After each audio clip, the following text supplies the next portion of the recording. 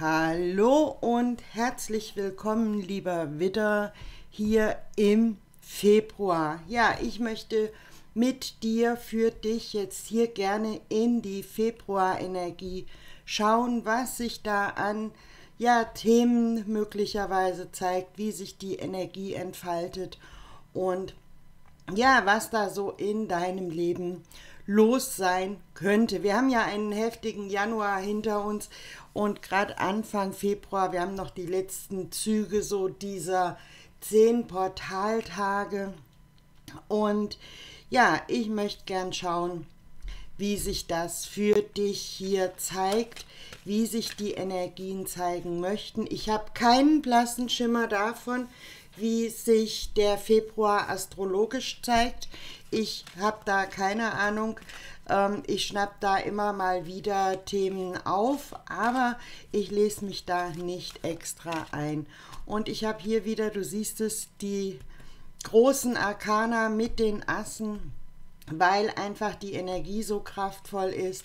Ich habe The For äh, Secret Forest Orakel und das Göttinnen Orakel und wir schauen jetzt einfach mal, dann auch im Anschluss eben mit dem Tarot, wie sich das zeigen möchte.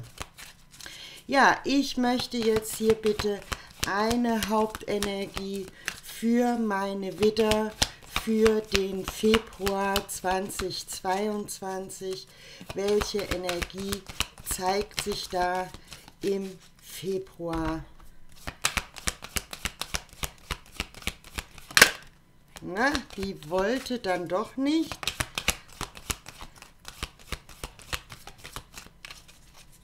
Eine Botschaft bitte hier für meine Widder.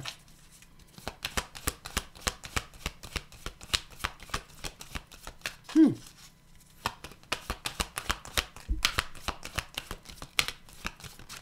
Da. Da geht es dann doch. Der Gehängte. Ja, vielleicht geht es für dich, lieber Widder, mal darum, die Situationen, die unterschiedlichen Herausforderungen, das, was in deinem Leben da auftaucht, aus einer anderen Perspektive zu betrachten. Der Gehängte, da geht es immer um einen Perspektivwechsel. Es geht aber auch darum, mal äh, sozusagen die Füße still zu halten und mal hinzuspüren in der Quersumme äh, des Gehängten, also die 12, das ist die 3, das ist die Herrscherin. Und vielleicht braucht es bei dir, lieber Witter, im Februar ein bisschen Geduld, bis da etwas heranreift. Ist ziemlich spannend. Also der Gehängte mit Ruhe und Gelassenheit nehme ich hier auch so wahr. Wir schauen mal, was die zweite Karte hier sagt, um welches Thema es hier im Februar geht. Nee, drei nicht, eine Karte bitte. Eine Karte bitte hier für die Widder für den Februar.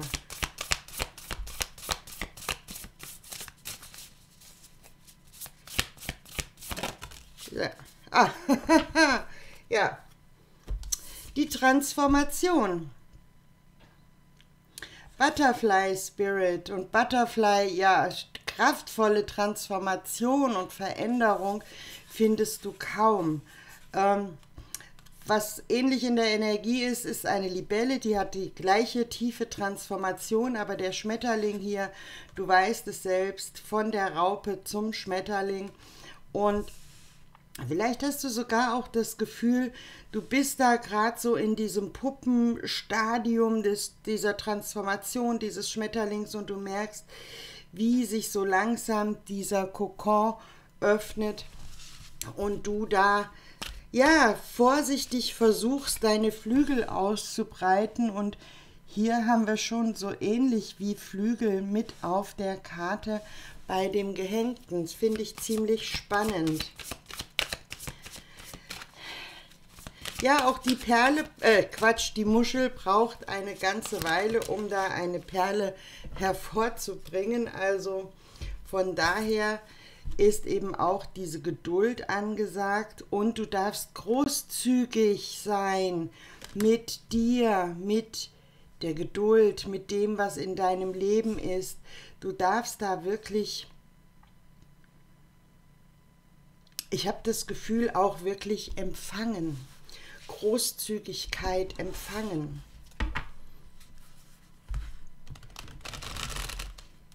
Eine tiefe Transformation und wie gesagt, wir stehen alle gerade da an dieser Schwelle vom Januar zum Februar und ich glaube wirklich, dass dieses Jahr 2022 sehr herausfordernd wird.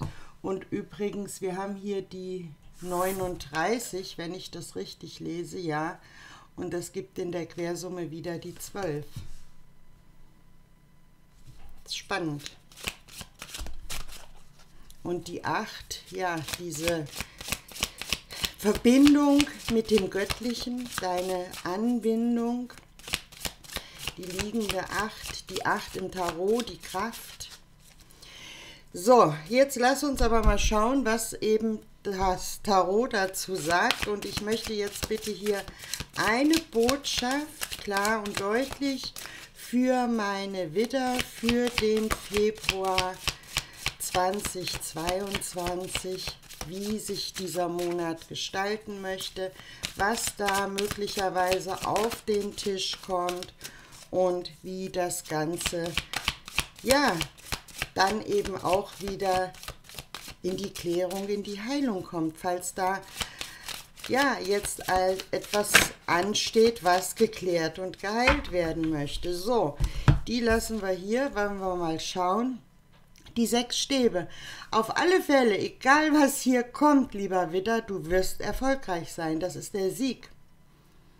Egal was hier kommt, egal ganz gleich, wie viel Geduld du aufbringen musst, darfst, kannst, möchtest, wie die Transformation sich gestaltet, es wird erfolgreich sein.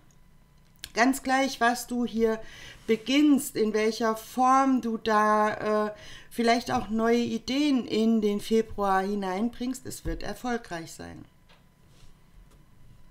Wir schauen mal weiter. Die drei Stäbe, das ist deine Sehnsucht. Und das Schiff wird kommen und du wirst hier wirklich äh, das umsetzen können, was du dir vorgenommen hast. Deine Sehnsucht wird erfüllt. Wir haben hier lauter Stäbe. Schau mal, die vier Stäbe. Wunderbar. Es geht ums bei dir ankommen, um die Freude. So eine freudvolle Energie, die Hochzeit, die Hochzeit, etwas Neues wird geboren, kommt in die Welt.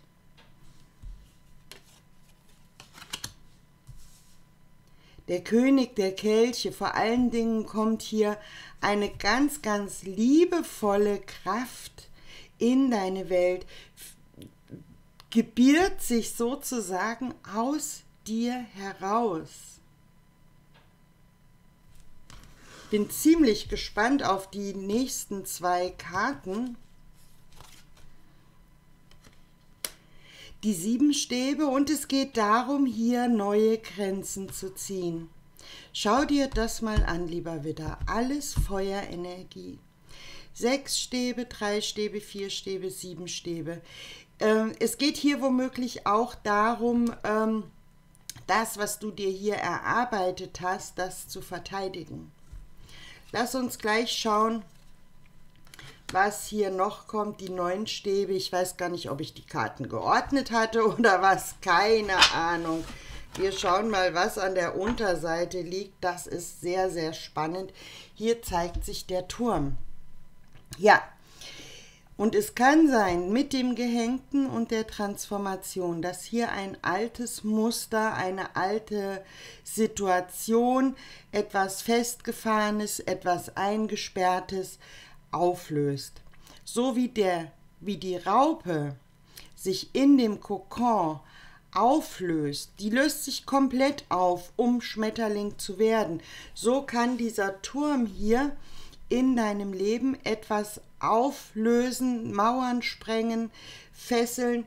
Ähm, wir haben hier zwar die neun Stäbe als Schlusskarte, ähm, vielleicht hat dich das bisher auch ein Stück weit angestrengt. Vielleicht ist es auch ein Prozess, durch den du gerade schon hindurchgehst, wo du vielleicht gerade am Anfang stehst und du merkst aber dann im weiteren Verlauf, es erschöpft dich. Aber bitte, bitte, lieber Widder, bleib dir treu, bleib dabei. Es geht um die Liebe, es geht um dein Herz. Es geht auch darum, großzügig zu sein mit dir, dir deine Sehnsüchte zu erlauben, großzügig auch dir gegenüber zu sein, dass du dir erlaubst, erfolgreich zu sein, weil die sechs Stäbe, die stehen eben für Erfolg, dass du darum kämpfst, erfolgreich zu sein, aber und ich glaube, das ist auch der Hinweis hier für die von den neuen Stäben, dich nicht verausgabst darin, sondern einfach auch mal großzügig bist und sagst, ja, kämpft ihr doch, ich habe hier meine Grenze gezogen, die gilt für mich und ihr könnt da hinter dieser Grenze, also auf eurem Gebiet machen, was ihr wollt. Ich bleibe jetzt hier bei mir. Und ich glaube, dass das die zentrale Botschaft ist, da wirklich bei dir zu bleiben auch mal hinzuspüren, wo bist du da in Kämpfen verstrickt, die Perspektive zu, die Perspektive zu wechseln, wo lässt du dich hier in Kämpfe einbinden, die schlussendlich gar nicht deine sind. Was ist deine Sehnsucht, um die du ja kämpfen möchtest? Aber bedenke bitte, Kampf ist immer Kampf. Egal wie gut der gemeint ist, es ist immer Kampf. Es ist immer eine niedriger schwingende Energie als die Liebe, als bei dir anzukommen, dich deiner Transformation hinzugeben. Wenn du dich in den Kampf nach außen ziehen lässt, kommst du von dir weg und deine Transformation steht dann quasi ein Stück weit hinten an. Ja, ich glaube, lieber Witter, es ist hier an der Zeit hinzuspüren, was willst du wirklich? Dafür der Gehängte, der dir die Perspektive äh, wechselt, wo du auch mal anders auf eine Situation schauen kannst. Und ich habe ja gleich zu Beginn gesagt, die sechs Stäbe, das wird erfolgreich sein und du wirst hier einige Muster für dich erkennen, die dann zusammenbrechen, die sich transformieren und wo du viel, viel großzügiger mit dir und mit dem Leben sein kannst. Du musst nicht hier überall mitspielen. Du darfst da die Spieler hier in diesem Kampf auch mal alleine spielen lassen und du kannst hier einfach bei dir bleiben. In deiner Mitte, in deinem Zentrum, in deiner Transformation, die dir dann auch wieder die Ruhe gibt, die Dinge, die Situationen aus anderer Perspektive anzuschauen. Anzuschauen. Ich möchte jetzt gerne in der Fortsetzung eine Ebene tiefer schauen, gerade eben hier auf den Kampf, auf dieses Ankommen bei dir. Wie gesagt, das kann hier sogar auch eine Begegnung mit einem König der Kelche sein. Da schauen wir jetzt gleich mal. Auf deine Sehnsucht möchte ich schauen und eben auch, wie die Transformation sich da weiter gestaltet. Den Link zur Fortsetzung findest du wie immer unten in der Infobox. Alle Fortsetzungen auch in diesem Jahr immer noch im Hardmember-Bereich auf meinem Patreon-Channel. Und ja, ich freue mich sehr, dir da gleich wieder zu begegnen.